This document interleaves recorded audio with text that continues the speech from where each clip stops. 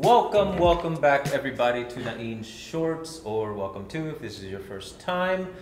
I am Nain of Kali Konversation. Actually, it's El Guzman, but you know we won't get into that legal reasons. But we're back here in the dungeon of Physique Magnifique, our home at 387 Grand Avenue in South San Francisco. Stop on by if you're ever in the area. Give us a shout. We'll be happy to play. Um, sticks usually, but we also do some knife stuff if you want. But otherwise, the gym has a lot more to offer than just our smiling faces. And by that I mean Rick and myself, who is behind the camera making funny faces. But that's kind of what he does. no, don't do that again. Please don't. That was traumatizing enough the one time. We're not going to get into it, folks. But here we are again, training. We're, we're back at it. We're starting at square one, really. Um, uh, for those of you who have watched the last two episodes, uh, I had a bit of an, uh, what would you call it, an ego check? Um, which, as we've evaluated and as we evaluate everything that we go through and all the lessons that come along in our lives that can help, and if viewed in the right perspective, will help your own personal growth in your training, it wasn't so much an ego check as it was just one of those moments where you have to be reminded of the grandeur of what's left to learn.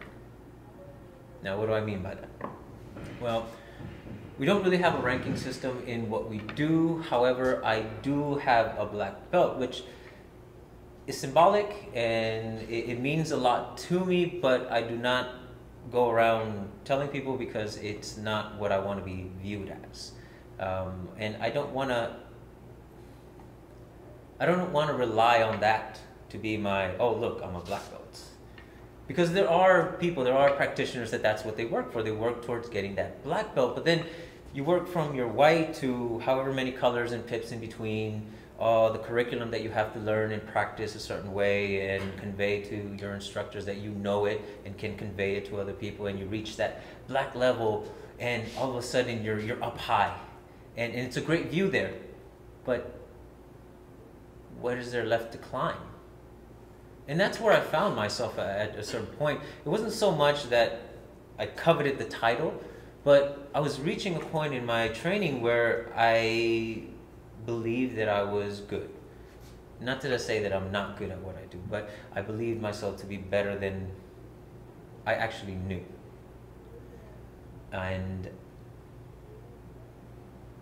there didn't seem to be much left to learn which is funny to say out loud because uh, I've always known and, and, accepted it to a certain extent that, yeah, there is so much to learn that we'll never really get to everything that we want to in our lifetime.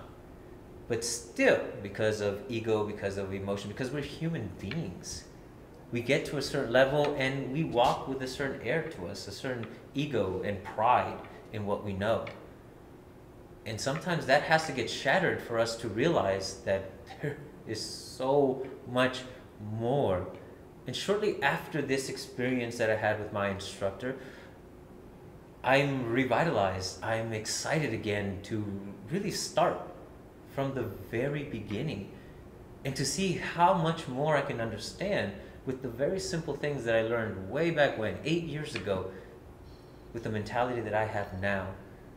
It's the equivalent of reaching a black belt and realizing this is where the training really starts. I am now earned my white belt. The black belt is just a symbol that you learned enough so you can really start growing from that point. And I needed that. And I think a lot of us need that at one point or another in our life. And it's a natural thing to be reminded that, hey, you don't know everything. But it's a hard pill to swallow. And some people never do, never even attempt it and oftentimes that leads to well kind of getting in trouble or getting beat up in the martial arts world in places that you shouldn't be getting beat up because of that overconfidence that we have that yeah no i'm good but you're good in this realm maybe not outside of that.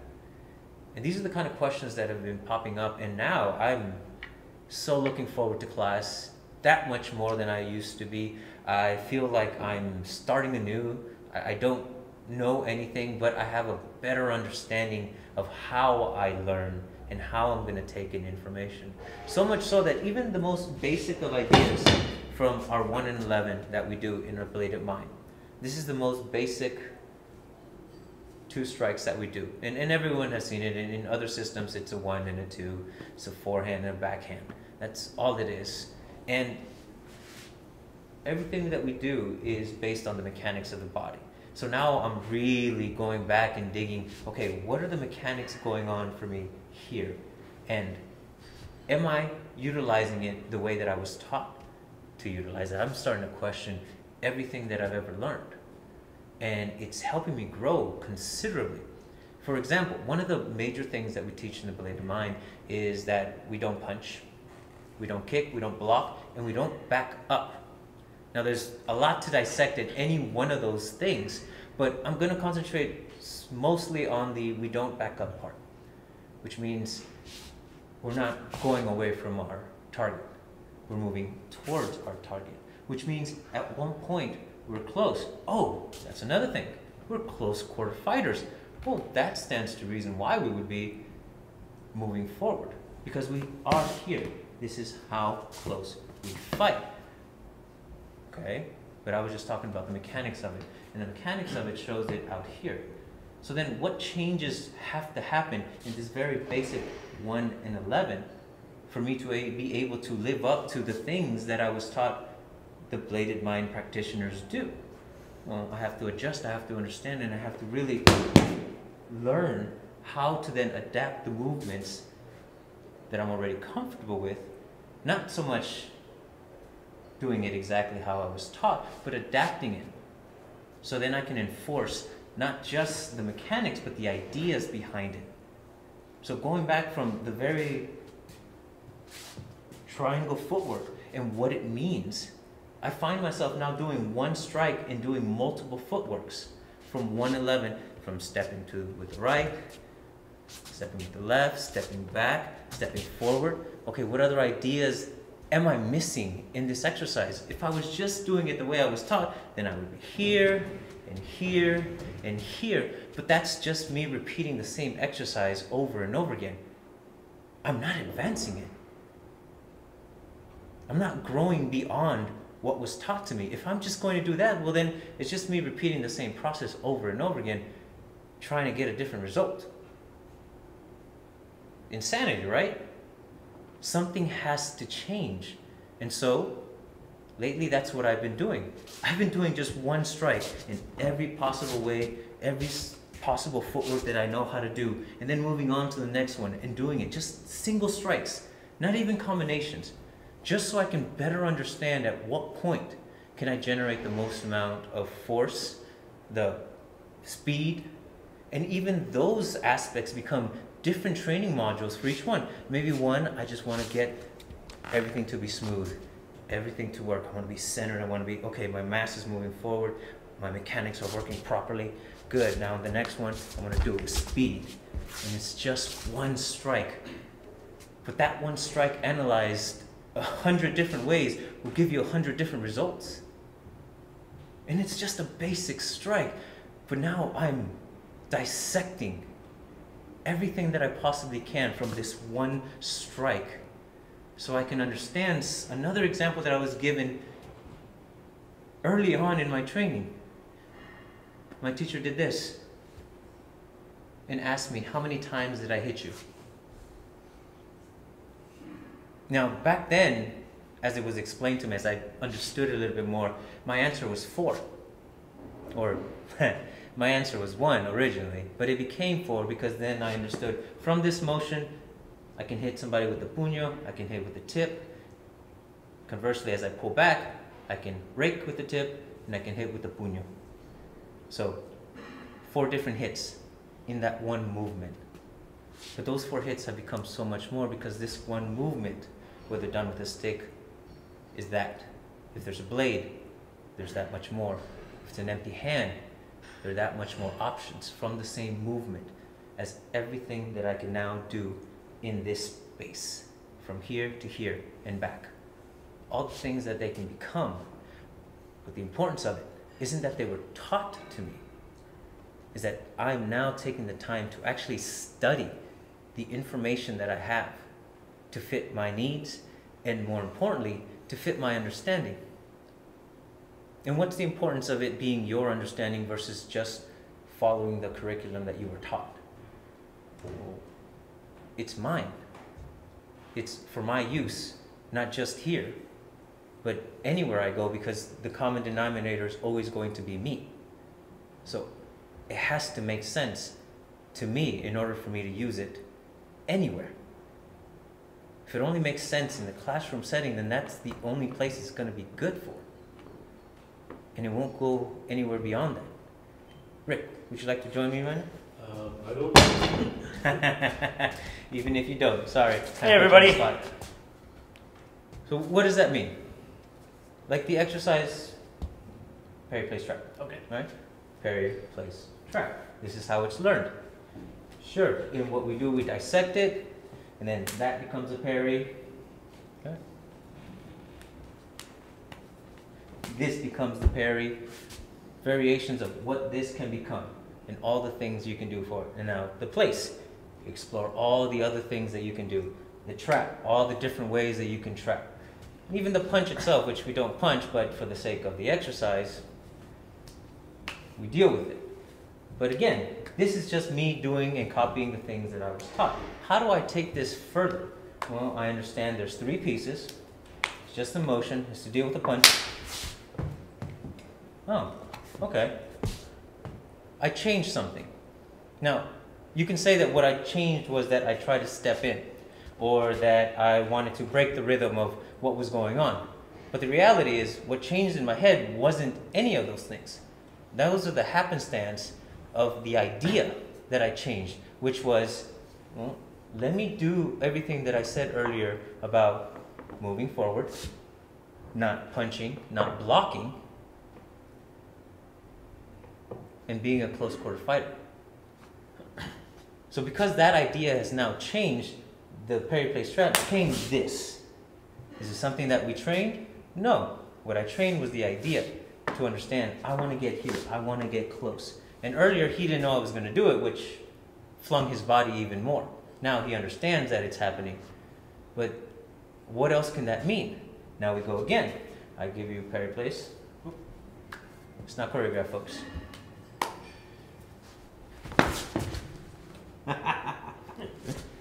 Thank you, buddy. I wasn't gonna take you down, you know that, right? Oh, man. I don't know what you're trying to do. I've taken him down so many times that I'm, I'm thinking one of these days he's going to try to get even. so I was going to stop it before. That's how I think. I'm a little smarter than he is.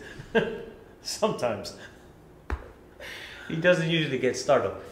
It wasn't a startle, it was preemptive. Oh, oh, preemptive. Okay. Yeah, yeah, yeah, yeah. Well, we're gonna we're gonna say it was I was that. going to crank. Oh, I know. I know you would. That's why I grabbed onto your hand, you bastard. But again, now I'm not exploring the moves themselves. We, we've done that.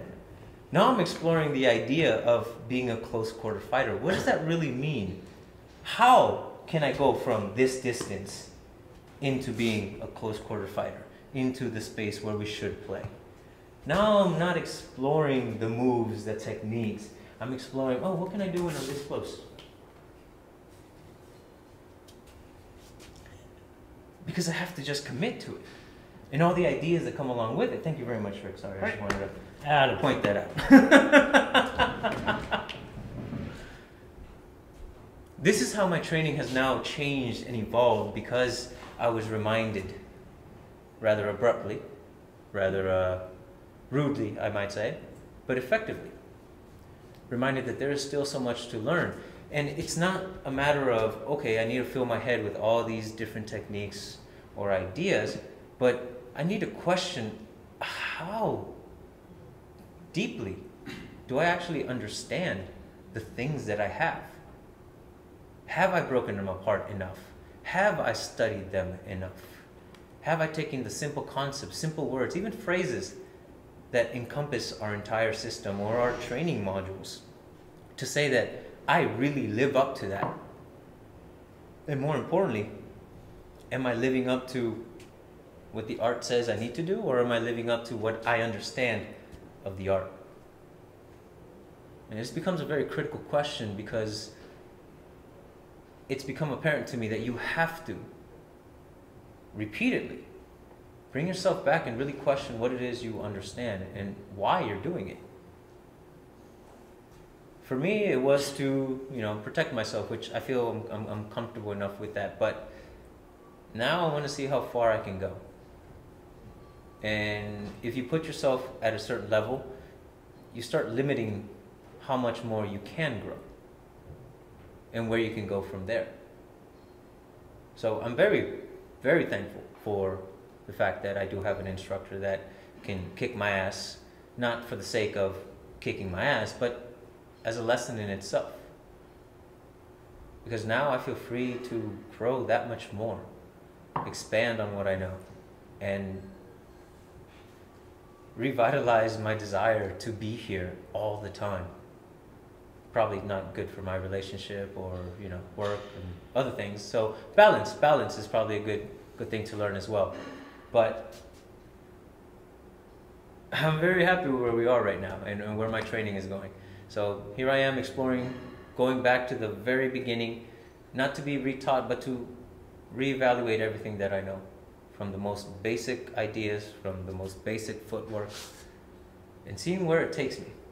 See what questions come up what more things I can explore, how much I can do with it now that I'm thinking less of a technique and more of a concept. It, it's a fun place to be. It really is. It, it, being a new student, a white belt all over again is is free in so many ways.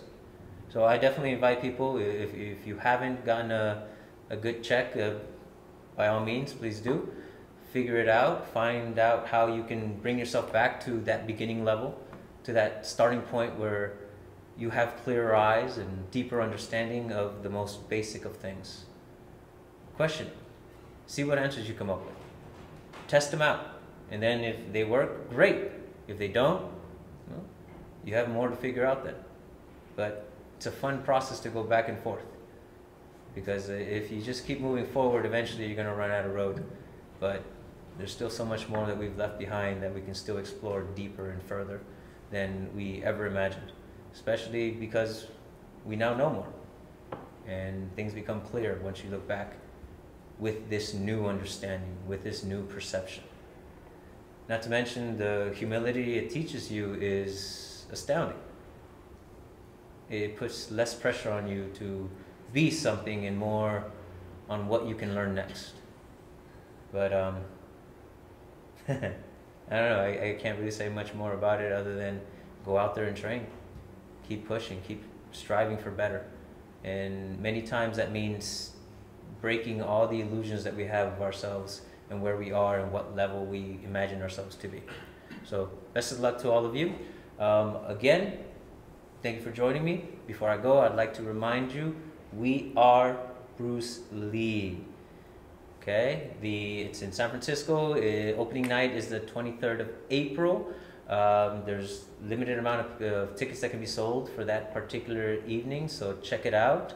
Uh, we are brucelee.org is the website where you can get the information from the Chinese Historical Society of America. Okay, that's the building in which this display is being set up. And folks, I got a glimpse of the stuff inside, and oh my God, it is really cool, and we only saw a little bit of it. They were still setting up so much more about Bruce Lee, about the history, and the idea is is that this is only really going to last for a year. The place is going to be there for five, but they're trying to reimagine it every year. So whatever is there this year might not be there next year. So don't miss a chance to get a, a glimpse into that, whether it's opening night or anytime afterwards. Tickets uh, will be available for that um, at the door. Um, so please um, go support or just go learn some cool stuff about a legend. And believe it or not, folks, he becomes that much more of a legend every time I learn something new about him. He is not only more human, but he's also that much more amazing because of it. So for those of you who are fans, please do not miss this. And those of you who do who aren't familiar with Bruce Lee, this is a great chance to get to know him. So definitely look out for that, and uh, we'll try to bring you as much information on the topic as we can. Thank you again for joining me on Nain Shorts. Uh, till the next one, As always, three, two, one, cut.